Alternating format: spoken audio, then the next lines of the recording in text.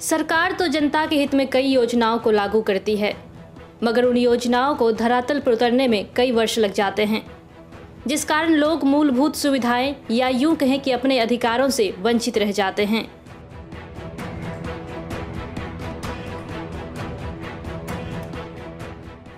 और ऐसा इसलिए होता है क्योंकि हमारे यहाँ ना तो जनप्रतिनिधियों को और ना ही सरकारी महकमों को ही विकास के कार्यों में दिल लगता है। इन्हें तो बस अपनी जेब भरने से मतलब है। इन सब के बीच आम जनता बेबस और लाचार बनी रहती है।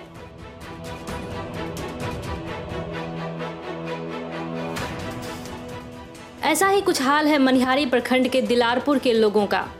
यहाँ हरी चौक से महियरपुर रेलवे स्टेशन तक जाने वाली मुख्य सड़क जर्जर है।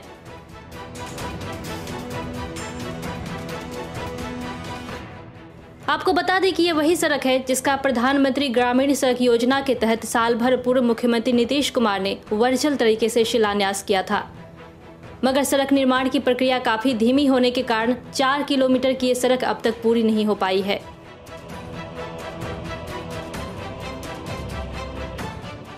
इस मामले में कटिहार जदयू के दलित प्रकोष्ठ जिला अध्यक्ष कुंदन कुमार पासवान ने बताया कि जर्जर सड़क होने के कारण बरसात के दिनों में लोगों को काफ़ी परेशानियों का सामना करना पड़ता है।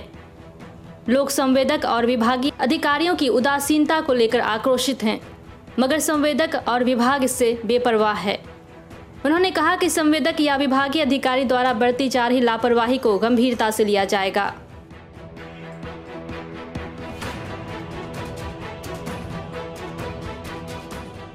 समस्या तो काफ़ी है यहाँ। ये रोड है दिलारपुर से मैहारपुर तक का है।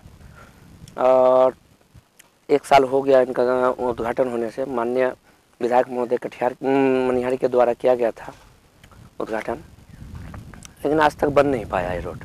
कुछ काम हुआ है, चौक के पास कुछ हल्का फुल्का काम हुआ है, उसके बाद आज तक बना नहीं रोड। जनता को काफ़ी परेशानी है, काफ़ी समस्या है इस रोड से।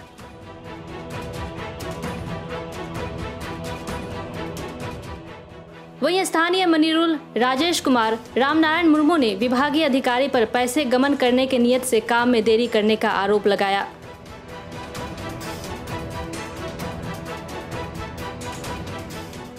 हम लोग का समस्या बहुत गंभीर है।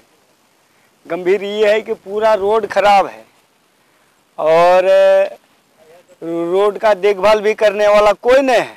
क्या है यही सर कि ये रोड बनने वाला एक साल का पहले उद्घाटन हुआ था कि ठेकेदार लिया था बनाने के लिए। वो बना नहीं पाया और उसके बाद रोड धसते जा रहा है। हम लोग का बेलटोली का हम रहने वाले हैं मैयारपुर बेलटोली का। और हम लोग देख रहे हैं कि आज बने कल बने यहाँ पर माल जाल भी जाने के लिए भी सारा रास्ता नहीं है। क्या ही उम्मीदवार है आप लोग का? हम लोग तो यही सोचते हैं कि, कि बन जाए तो बहुत पब्लिक के लिए सुविधा हो। और ग्रामीण के लिए सुविधा हो हम लोग को निकलने के लिए एक सड़क दिया था, मुखिया साहब, उसमें भी जाकर पानी मार करके हिलार फिलार कर दिया। इस रोड को पास होने से एक साल हो गई है, लेकिन बरसात में इतना दिक्कत होता है पूरा जर्जर स्थिति है, लोगों को पैदल चलने के लिए पूरा मुश्किल होता है। गाड़ी घोड़े की समस्या तो दूर जाए। हाँ इसका सब चीज़ हो चुका है, कुछ भी नहीं हुआ। हल्का फल्का काम हो गया जो जो बंद है। बस हो गया। ईटा उटा पत्थर उथर गिरा दिया लेकिन पैदल चलने के लिए मुश्किल है। विभागीय अधिकारियों और संवेदकों को इन लोगों की परेशानियों को समझना चाहिए और तय समय पर अपने कार्यों को पूरा करना चाहिए ताकि इन ग्रामीणों का जीवन यापन आसानी से हो पाए। Tazeem Hussain Times News Manihari.